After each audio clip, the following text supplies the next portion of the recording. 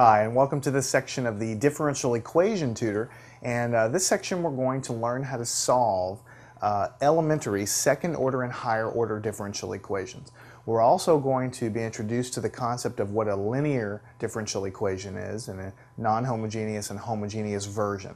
Now we've talked about these concepts in volume one of the differential equations tutor, so really these are more extension concepts. They're not uh, new or thrown out there out of the blue. They're really things that you've been exposed to, but what I want to do is lay it out in a concrete way because as we get into the more complicated equations, the terminology is going to be even more important than it was in volume one of the differential equations uh, DVD that we had.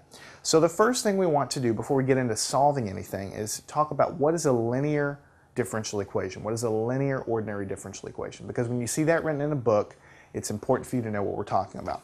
So let's go ahead and write that down. It's a pretty simple definition once it's explained to you. If you just read it in a book, uh, it can be difficult. So we say an nth order,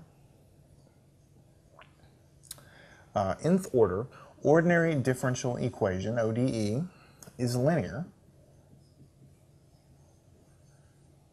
um, if we can write it as the following. Now this does, this does not mean that we have to read it out of your book in this form. This just means if we can manipulate it, move things left and, and right, and so on, and, and beat it into the following, uh, into the following uh, uh, way. So if we can write it in this form, we say it's linear. So let me write it down, we'll talk about it. a sub n of t, d uh, nth derivative of x, with respect to t, plus dot, dot, dot, dot, we'll talk about that in a minute, uh, a sub 1 of t times dx dt, plus a sub 0, or a naught, however you want to say it, of t times x is equal to e of t.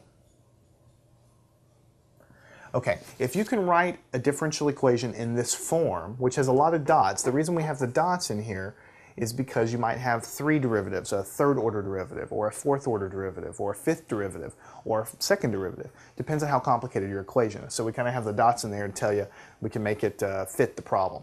So what we basically have is, you know, you have a lot of things written down in front of you. So let's just break it apart real quickly.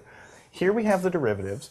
This could be fourth derivative and then the next guy below it would be third derivative, and then second derivative. And here we've written the first derivative out. After the first derivative comes no derivative. It's just x of t. So you just go down in derivatives. So, you know, fifth, fourth, third, second, first, and then no derivative. This is just the regular variable. Okay, that's what the derivatives are. Don't let the n scare you. This is just a placeholder. I don't know how complicated my equation is going to be. We're going to say it's nth order. Could be seventh order. Could be tenth order. Whatever. All right. Now we have a constant. I call it a constant, but really it's it's a function of of, uh, of our uh, independent variable time out sitting out in front of every single term. So the sub n here, don't get so confused by that. That that follows the same the same numbering that we have here. If it's fifth order or fifth derivative here, then we say this is a sub 5 a sub 4, a sub 3, a sub 2. Here's a sub 1 because this is the first derivative. So these are just subscripts to keep track of the fact that there are different constants. Uh, and I keep saying constants because later on in the course these are going to be reduced to constants to make uh, some solutions easier to deal with. But right now this is the general thing. In general they can be a function of time. If